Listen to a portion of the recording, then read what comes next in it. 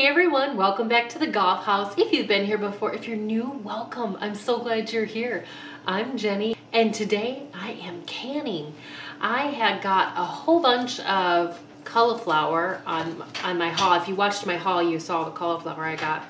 So I have decided to pickle some of that cauliflower.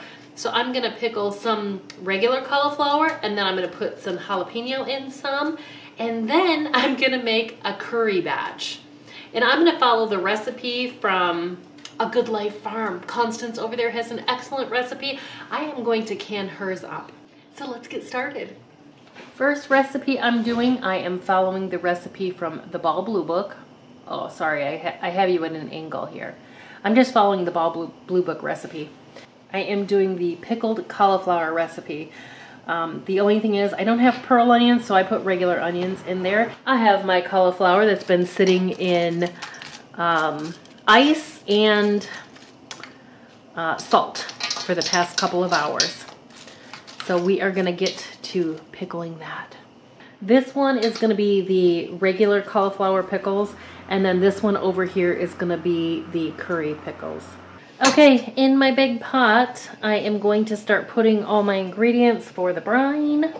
And I have one quart of white vinegar going in.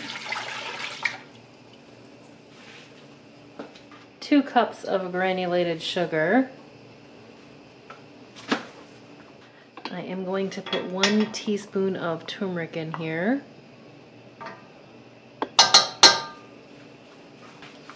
Two tablespoons of mustard seed.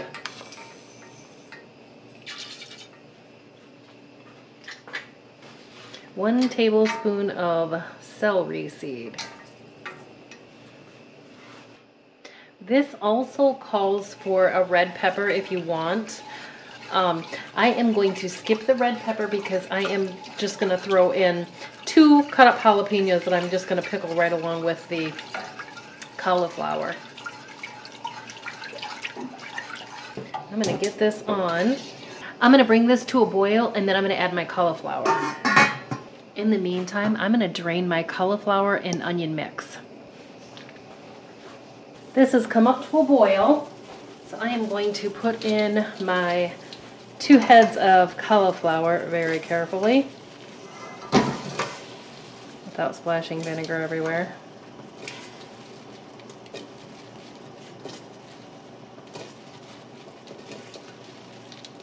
This smells so good. Ooh, I love the smell of turmeric. Whoa. Whoa. Okay. All going in. And I am I have my two um, jalapenos cut up. Those are going in and I'm leaving them in. Um, this is just pure vinegar and sugar. They will be fine. We want to stir this in.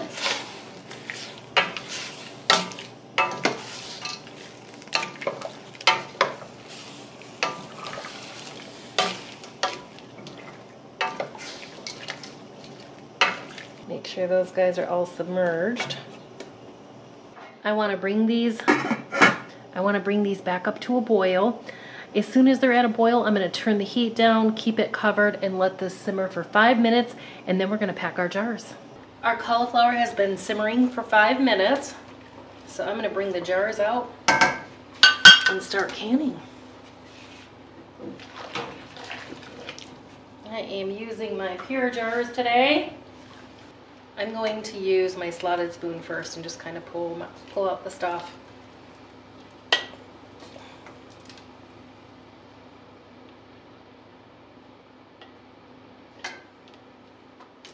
And then the brine. We only need half inch headspace.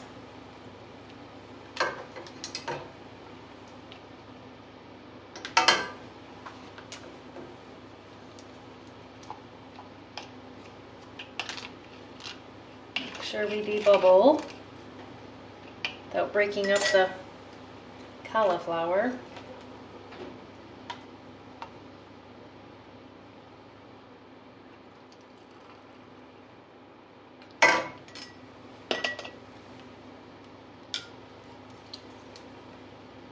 Okay, we need a little bit more.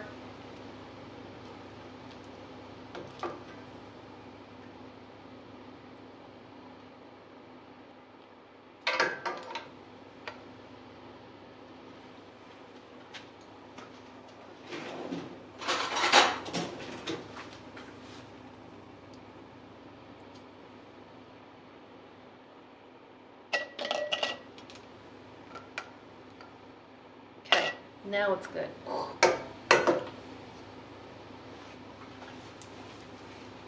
Hopefully you can see, I'm going to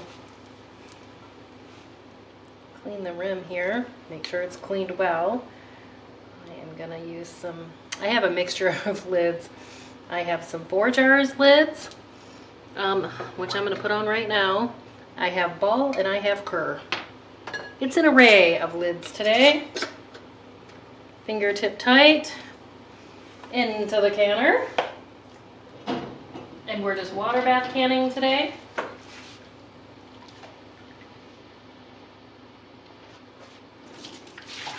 And of course I got my water bath a little too full, so I have to pull my jars out and empty the water into the sink.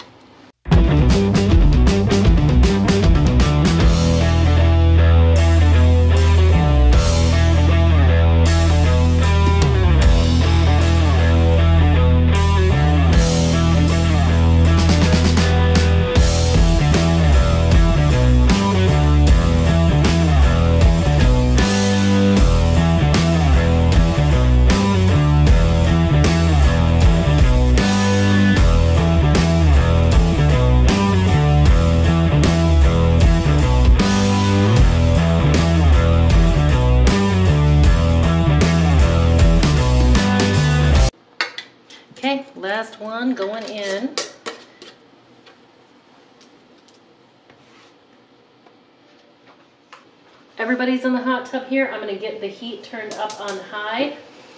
The directions say to process 10 minutes and I am at 1100 feet, so I'm 100 feet above that for sea level. So I'm gonna process, I gotta add my five minutes accordingly, so I will be processing these for 15 minutes. All right, time is up. They are coming out of the canner. Oh, yum, look at those. Sorry, I can't, I can't tilt them. Every one of them is sealed.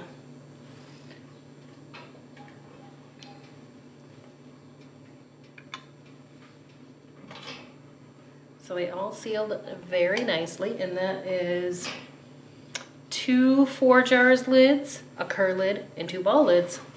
I'm gonna get my next set of jars into the canner to sterilize while I get the brain going. Okay, in my pot here, I'm gonna add the ingredients. I'm gonna half her recipe and I'm gonna do different directions also. I'm gonna do the same directions like I did for the ball, um, just to save time. I soaked, or let it soak in, I salted it and put it in ice. I've drained it, rinsed it. I am now going to put into this pot two cups of white vinegar, two cups of water. Here are my two cups of white vinegar. Here are my two cups of water. I'm going to add one cup of granulated sugar. And then I'm going to use one cup of honey. This is locally sourced honey right here. Um, the gal I sell jars to, uh, I, I have a couple beekeepers for customers. This is one of them.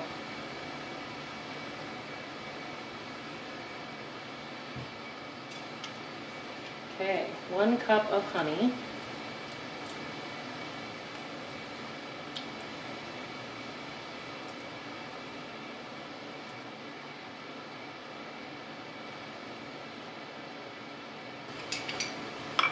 One tablespoon of mustard seeds.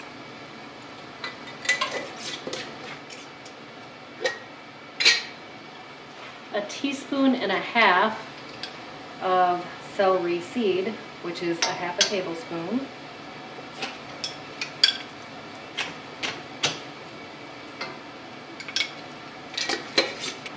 Two teaspoons of curry powder. Actually, I think it's just one because I'm I'm having it. Let me just make sure.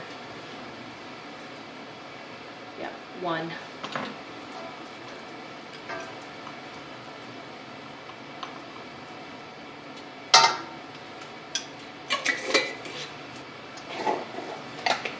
and then a half a teaspoon of turmeric.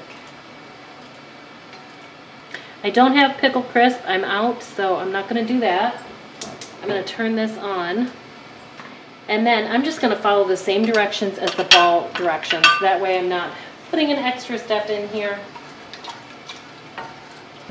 So I'm gonna bring this up to a boil and as soon as it's up to a boil, I'm gonna add my cauliflower.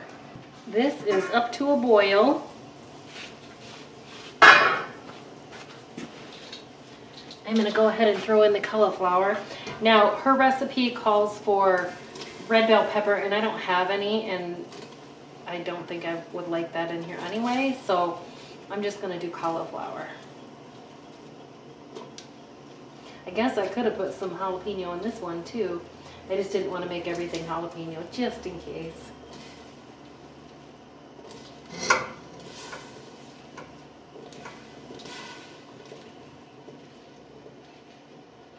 And I also have one onion cut up in here.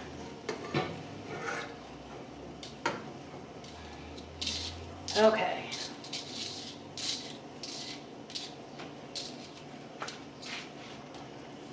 And I need to bring this back up to a boil. So I'm gonna put the lid on. I'm gonna bring this up to a boil, then I'm gonna turn the heat down and let it simmer for five ten minutes. The ball recipe had me simmer the other one for five minutes. This is a little bit more cauliflower than that.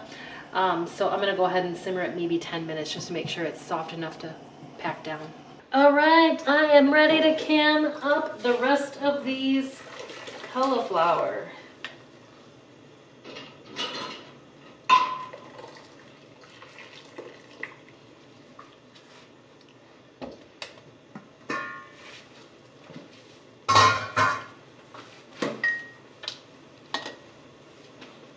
This smells amazing. Okay, so I heated up six jars.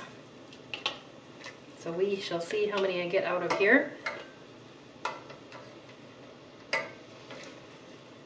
Oh, there's my potatoes over there, boiling over.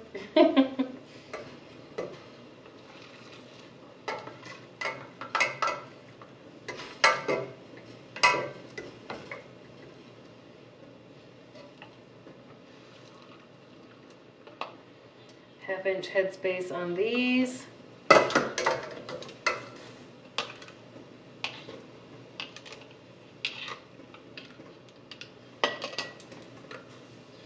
And I need some more liquid.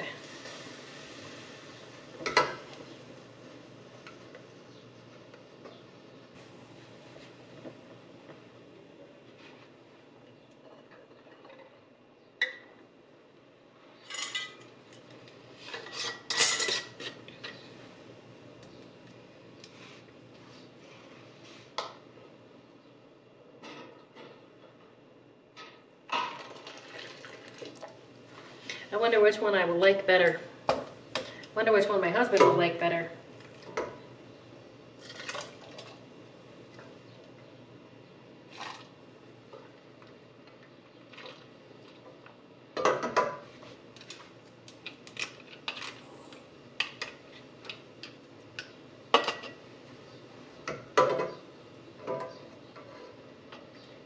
Okay, let me just check my headspace here. Perfect.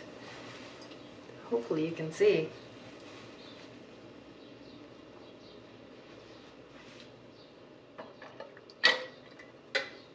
Oh man.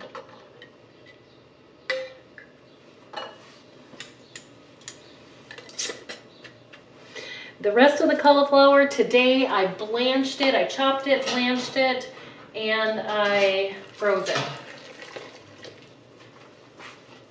I did not film that part. And that took care of all, that whole case of cauliflower that I had.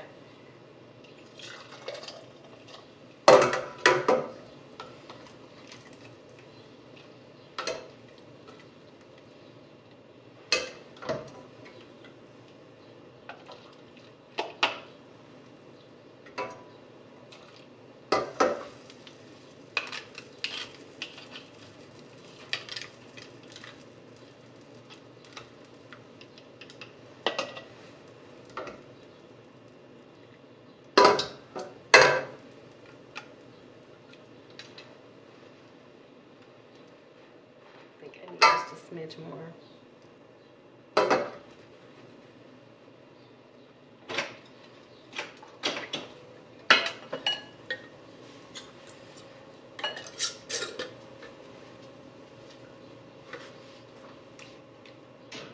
And tomorrow I will um, take care of my mangoes. I was kind of waiting for them to get really soft and ripe before I freeze them.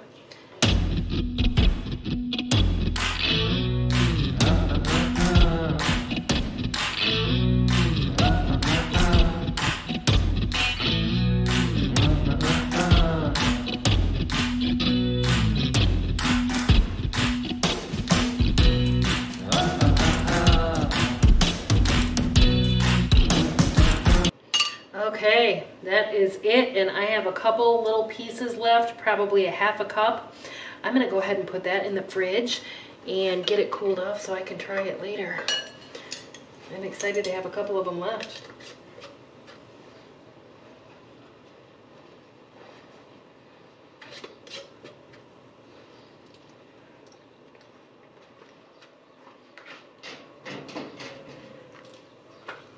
All right, everybody's in the hot tub. I'm gonna turn this up to high. Okay, these are all in the hot tub. I'm gonna go ahead and process these guys 20 minutes because her recipe says 15. So I'm assuming that's the baseline and I need to add my five minutes, so that's what I'm gonna do. All right, here's the next batch. It's the next morning. I pulled them out last night, but I was making dinner and I did not film it. They are all sealed nicely. They look beautiful. And by the way, that little bit I had in the fridge, I tasted it this morning, and this is wonderful. I should have done the whole batch, and I will make this again. I will link a Good Life Farms uh, recipe for this in the description box below for you. All right, that's all there is to it. Easy peasy. You can also prep your cauliflower a day ahead. Prep a day, can a day. That way when you wake up, it's ready to go. Anyway folks, if you enjoyed the video, please give it a thumbs up. If you haven't subscribed yet and you like videos like these, please consider subscribing. You can find me on Instagram at jenigough18. I'm also on Facebook and you can visit my blog at jenigough.com for all of my recipes. Thanks for watching. I'll see you in the next video. There you go.